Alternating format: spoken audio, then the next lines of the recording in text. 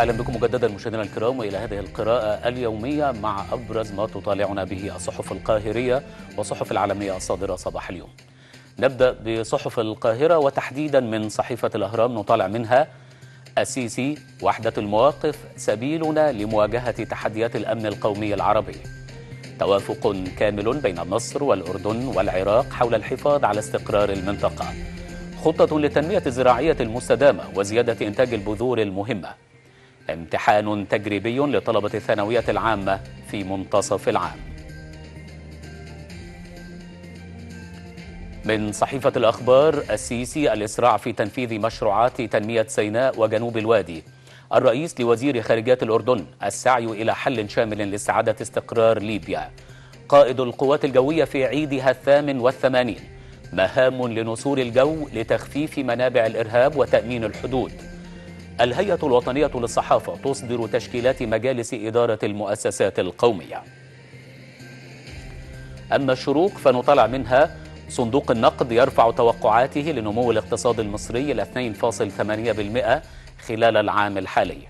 تطبيق حكومي جديد لتقليل نسب التكدس بمكاتب الشهر العقاري.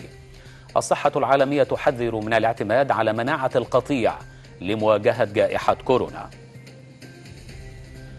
معنا في هذه الجولة صحيفة المصري اليوم ونطلع منها الرئيس يصدر قائمة بالمئة المعينين في مجلس الشيوخ.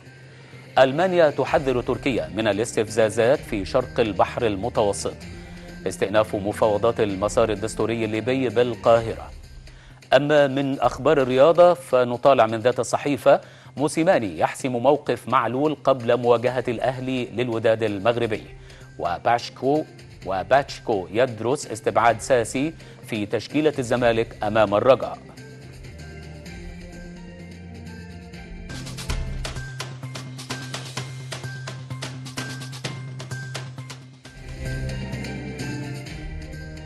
نتحول إلى الصحف العربية والبداية من صحيفة الدستور الأردنية. رسالة من الملك للرئيس المصري حول تعزيز التعاون في ظل الظروف الاستثنائية.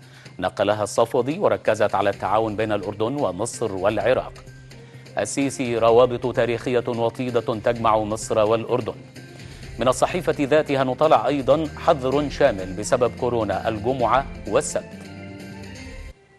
من الشرق الأوسط اللندنية نطالع طهران تستعرض سطوة وجودها قرب دمشق بعد تراجع مظاهرة في قلبها.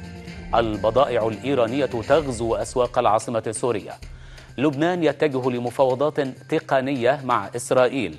الحريري يحسم موقفه من الترشح اليوم وبسيل يهاجمه بعنف. نتحول إلى صحف الخليج ونطالع من صحيفة الخليج الإماراتية.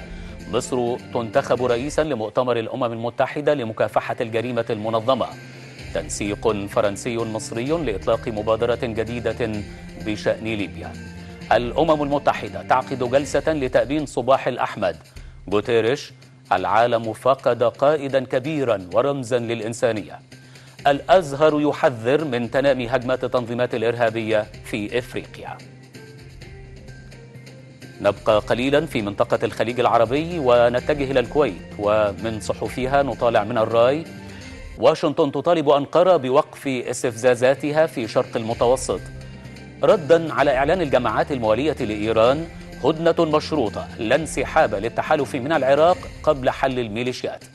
الأسد آثار الحرائق ستستمر سنوات وأوروبا ترفض مؤتمر عودة اللاجئين.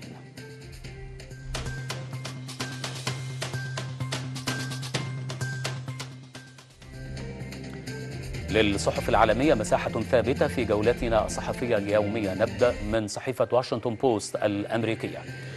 جو بايدن يتطلع لأصوات المسنين في فلوريدا ودونالد ترامب يتوجه لبنسلفانيا. وزير الدفاع الروسي يحث, يحث أرمينيا وأذربيجان على الالتزام بوقف إطلاق النار. اليابان تكشف عن غواصة جديدة لتعزيز أمنها البحري. نبقى مع الصحف الأمريكية ومن وول ستريت جورنال نطالع تداعي الهدنة في كاراباخ يشعل المخاوف من أزمة إنسانية. الطرفان يتبادلان الاتهامات بخرق الهدنة والقتال هو الأعنف منذ سنوات. واشنطن تبدي استعدادها لتمديد معاهدة الأسلحة النووية وموسكو ترفض شروطها. من لوموند الفرنسية تركيا تدعو إلى محادثات رباعية تضم موسكو حول نزاع كرباخ أكثر من 38 مليون مصاب بكورونا في العالم وإصابة زوجة وزير العمل الأمريكي بفيروس كورونا. بعد سنوات من وساطة أمريكية انطلاق مفاوضات ترسيم الحدود البحرية بين لبنان وإسرائيل. من الصحف الأوروبية نطالع من الجارديان البريطانية مطالبة بفرض إغلاق تام في بريطانيا بعدما فقدت الحكومة السيطرة على الوباء. وتدابير إغلاق جديدة من الصين إلى أوروبا. وتعليق تجربتين على اللقاح ضد كورونا. الأمم المتحدة نزوح 35 ألف مدني بسبب المعارك بين قوات الأمن الأفغانية وحركة طالبان.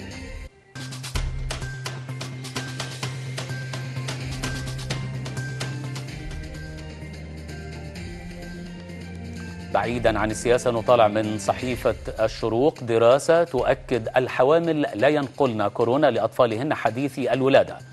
أظهرت الدراسة التي نشرت في مجلة جاما لطب الأطفال أن الأمهات الجدد المصابات بكورونا أثناء الحمل لم ينقلن الفيروس إلى أطفالهن حتى لو كانوا يرضعنهم ويشاركنهم نفس الغرفة في المستشفى. ومن صحيفة ديلي تيليغراف البريطانية في ظل جائحة فيروس كورونا حول العالم أفادت دراسة استقصائية على عينة كبيرة من الأطباء في جميع أنحاء الولايات المتحدة أنهم باتوا أكثر إقداما على الاستقالة من وظائفهم واللجوء إلى تغيير مجالهم المهني في ظل الصعوبات والمشاق التي يواجهونها. بهذا ننهي هذه الجولة مع الصحف الصادرة صباح اليوم. شكرا لكم وإلى اللقاء.